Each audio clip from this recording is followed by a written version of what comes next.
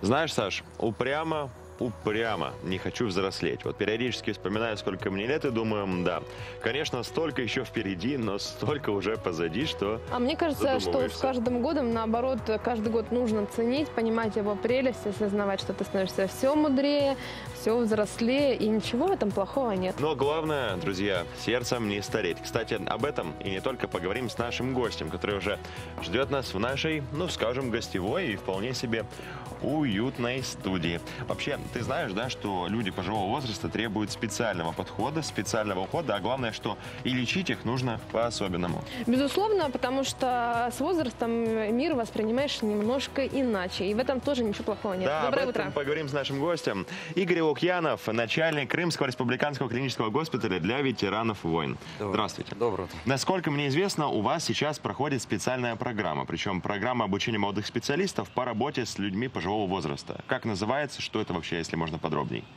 Да, у нас сейчас проходит обучение. А обучение у нас проводит э, Российский геронтологический научно-клинический центр, город Москва. На базе нашего госпиталя обучаются врачи.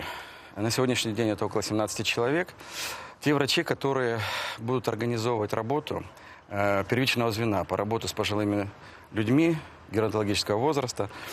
Э, те люди, которые будут создавать э, кабинеты у себя в городах и районах.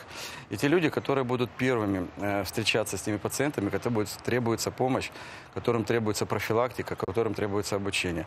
И сейчас на базе нашего госпиталя проходит эта учеба, она очень э, серьезная. Приезжают специалисты различного профиля, читают лекции, идет э, вебинарное с- э, э, прослушивание. Очень важная э, ситуация организовать работу так, чтобы первичное звено было очень доступно. И вот сейчас формируется э, именно та структура, которая будет объединять и организовывать работу, начиная, при- приближаясь к пациенту. Ну, Вы сказали 17 человек. Это 17 ребят, которые останутся на полуострове потом, или все-таки разъедутся по другим э, городам страны? Нет, нет, нет, это те люди, которые будут работать именно в городах районах Крыма.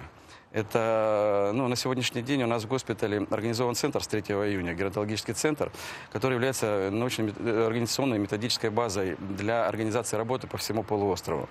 И вот в рамках этой подготовки, организации структуры, подготовки структуры э, геронтологической помощи у нас в Крыму, и как раз э, проводится эта учеба, надо подготовить врачей-специалистов, которые организуют работу на местах, До конца года планируется открыть около 21 кабинета по всем регионам Крыма. И эта структура даст возможность именно э, оказывать помощь в том объеме, в том качестве, которым необходимо. Геронтология – это целая дисциплина, насколько я понимаю, отдельно. У нее есть свои нюансы и вот сложности, особенности. Чему именно обучают специалистов, да? Возможно, э, пожилые люди требуют специального ухода или... Да, безусловно. Э, К сожалению, э, обучение э, студентов э, в медицинских вузах очень часто упускается этот момент э, именно индивидуального подхода к пожилому человеку. И вот формируется система и понимания оказания помощи пожилым людям. Она очень индивидуальна. Я вот когда начинался курс, общался с врачами, которые пришли. Это врачи в основном были терапевты общей практики.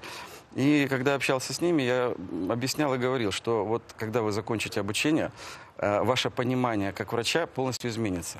То есть вы э, поменяете вообще понимание и структуру и подход к лечению пожилых людей. Это очень индивидуальная э, программа. И это должен знать ну, не только геронтолог-гериатор, это должен знать и терапевт первичного звена, и терапевт в стационаре. И э, структура, она ну, очень часто даже эм, э, задача врача не назначить лекарство геронтолога, а отменить его чтобы этот препарат не принимал, который можно заменить другими. У пожилых людей э, особенности э, обмена веществ, особенности э, психологические, психоэмоциональные, они очень важны, их надо учитывать. И вот для этого существует так называемая комплексная гериатрическая оценка, которая позволяет оценить пациента, э, выявить факторы риска. Э, Очень важный фактор риска – это фактор риска падения человека, чтобы человек просто не упал. Потому что человек, который упадет в пожилом возрасте, это, ну, еще называют хрупкими людьми, э, может привести к серьезным травмам, что очень э, плохо может сказаться на продолжительности жизни. И вот очень важна профилактика. Профилактика, ну, одно из звеньев – это профилактика падений. Ну и различные другие моменты. И вот оценить эту ситуацию, понять, э, как э, разработать ту реабилитационную или индивидуальную программу для пациента, вот должен врач-гериатр. Поэтому вот обучение происходит, формируется такая структура, и э, понимание врачей, которые приходят уже э, в эти кабинеты, э, будет отличаться. И даже они будут спорить потом с врачами других специальностей, которые будут заставлять и говорить, надо работать по стандартам.